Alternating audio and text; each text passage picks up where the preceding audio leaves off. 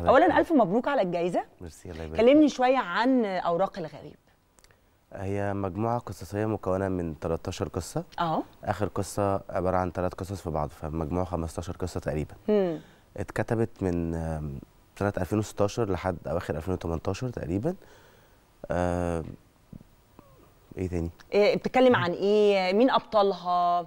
هي مجموعة قصصية مختلفة يعني أيوة. كل قصة مختلفة تماما عن اللي بعدها. آه. يمكن في روابط صغيرة جدا ما بين القصص بس أبطال مختلفين أبطال مختلفة. مختلفين. القصص مرتبطة بأي حاجة ببعض ولا كلها ملهاش علاقة ببعض؟ يعني هل هي واخدة مثلا خط اجتماعي واخدة خط آه، تاريخي واخدة خط آه، ثقافي؟ يعني القصص بتتكلم عن إيه؟ هي ملهاش علاقة ببعض. كل ملهاش علاقة ببعض خالص. كائن لوحده تماما بالظبط. أوكي.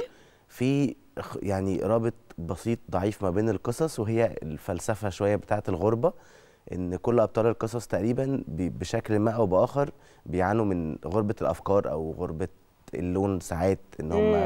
آه، في ثقافات مختلفة أو أفكارهم مختلفة أو بيكونوا موجودين في مكان محتاجين إن هم يهربوا منه شوية آه okay مش مش مش مرتاحين أو بيحسوا بالغربة في المكان اللي هم موجودين فيه. ايا المكان إيه سبب الغربة ده بقى؟ بالظبط. okay حضرتك كتبت المجموعة القصصيه في قد إيه وأخدت منك وقت تحضير قد إيه؟ آه، حوالي ثلاث سنين. ثلاث سنين. من 2016 لحد آخر 2018 أوكي.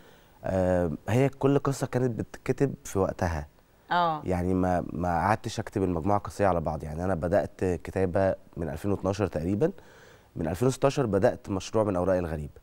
كتبت أول قصة بعد كده بعدها بشوية بيجي في دماغي الفكرة التانية بتاعت القصة اللي بعدها. آه. فببدأ أكتبها وأعرضها على الناس القريبين مني آخد آراء أعرف إذا كانت تصلح إن هي تتحط في المجموعة ولا لأ وهكذا. آه. فكانت كل قصة بتتكتب في وقتها ملهاش علاقة باللي قصة منفصلة. تماما ملهاش علاقة باللي قبليها ولا باللي بعديها. بالظبط. حضرتك خلصت أوراق الغريب من سنتين فعلا وبعدين قررت إنك ما تنشرهاش؟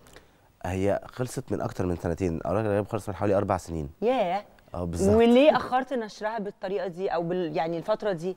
آه أنا ما أخرتش نشرها بقدر إن أنا ما مشيتش شوية في موضوع النشر. ما آه. دورتش كتير. يعني أنا قدمت المجموعة في الهيئة في 2019 تقريبا. آه بعد كده ما جاليش خبر إن هي أجيزت للنشر أو لأ فسبت الموضوع تماما. آه. وبدأ يساورني بعض الشكوك أصلا في موضوع الكتابة وهل أكمل ولا لأ؟ وهل أنا ترددت في وقت من الأوقات. بالظبط يعني هل أنا بكتبه ده يستحق النشر ولا لأ؟ لو أنا قدمته في الهيئة العامة وما اتنشرش فمعنى كده هو مش كويس. فده ما شجعنيش إن أنا أروح أدور على دار نشر تانية عشان أنشر معاها المجموعة. مم. فركنتها على جنب أجلت و- المشروع شوية. وكملت حياتي عادي.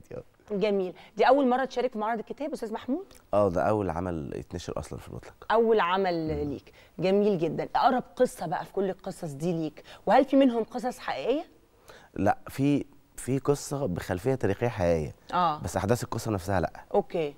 يعني في قصة بتدور أحداثها في الكونغو شوية من أوائل القرن ال 19 آه. مبنية على خلفية تاريخية حقيقية كانت أحداث بتحصل في الوقت ده. okay. إنما تفاصيل القصة نفسها خيالية تماما يعني. خيالية تماما بأبطالها بكل ال- التفاصيل بتاعه القصة. بالظبط. طيب أقرب قصة فيهم لحضرتك أو لقلبك؟ مم. آه في قصة اسمها تسعة. تسعة؟ آه. تتكلم عن إيه؟ دي بتتكلم عن أب بيجمع عياله وبيقدر إن هو يحبس الخوف. امم فبيحبس الخوف في أوضة وبيطلب منهم إن كل واحد يدخل يواجه الخوف بتاعه بنفسه. ويطلع بعد ما يكون خلاص آه، عرف إن الخوف انهزم واتحبس عشان يقدر يكمل حياته بشكل أفضل.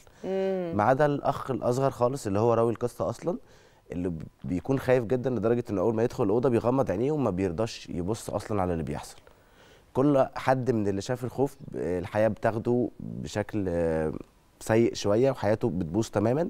ما عدا الأخ اللي هو قرر إن هو ما يشوفش. آه. دي أقرب قصة ليا عشان بحبها بشكل شخصي كبير يعني وكنت مبسوط وأنا بكتبها أصلا. آه فيها رؤية فلسفية يعني مهمة جدا. آه، والوحيد اللي ما شافش الخوف؟ هو اللي قدر يكمل حياته بشكل طبيعي. اللي ما واجهش الخوف. اللي ما واجهش الخوف. امم لأن هل يعني بس هو فكرة مواجهة الخوف نفسها معقدة شوية. آه. يعني أنت لو أنت واجهت خوفك وعرفت إن هو خلاص مش موجود تماما هل هتصح إن أنت تكمل حياتك؟ هل أصلا أنا شايف إن الخوف بشكل ما دافع للنجاح. الخوف من الفشل دافع للنجاح. مم. الخوف من الموت دافع للحياة وإنك أنت تعيش أحسن. بس فهو الخوف أساسي جدا يعني حاجة أساسية في في تركيبة الشخص. أيوه. أيوه.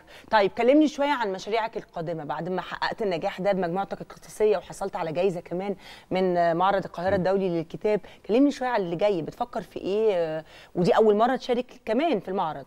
مظبوط؟ فاللي جاي أكيد أصعب واللي جاي أكيد هتكون عايز تعمل فيه حاجة مختلفة. بتفكر في إيه في اللي جاي؟ هو اللي جاي طبعا أصعب بكتير لأن أنت أول مشاركة خدت جايزة زي دي فأنت مطالب بإن أنت دايما آه، الحاجة بتاعتك تبقى كويسة جدا. أحسن. بالظبط طبعاً. يعني اتقال شوف يعني هو خد جايزة تاني يوم مقدم عمل مش كويس طبعا. أيوه زائد إن هو الجايزة نفسها جت في وقت آه، حرج جدا بالنسبة لي. أنا كنت آه، قربت أبطل كتابة بسبب إن أنا كنت يأست شوية من الموضوع وخلاص الشك بقى يحاصرني من كل ناحية.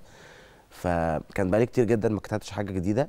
جت موضوع نشر الهيئة أنا عرفت تقريبا في شهر تسعة آه. إن خلاص المجموعة دخلت طول النشر وهتنزل في معرض الكتاب اللي جاي اللي هو اللي عدى ده. ف وده اداك أمل أو اداك حافز إنك تكمل. بالظبط. آه. بدأ يرجع لي تاني طب ما تكمل تاني. والمجموعة خدت آراء كويسة جدا من الناس اللي قريتها من الهيئة وجالي عليها تعليقات كويسة. الحمد لله. جاء موضوع إن هي فازت بجائزة معرض الكتاب وقعدت مع لجنة التحكيم وسمعت منهم آراء إيجابية جدا عن المجموعة. آه. فحسيت لأ طب ما أنت كويس. مم. يعني أنت محتاج أيوه. تكمل. طبعا بالظبط. لازم تكمل. فده اداني دافع كبير جدا الحمد وحافز إن. أنا أبدأ في المجموعة القصصية الثانية أنا م...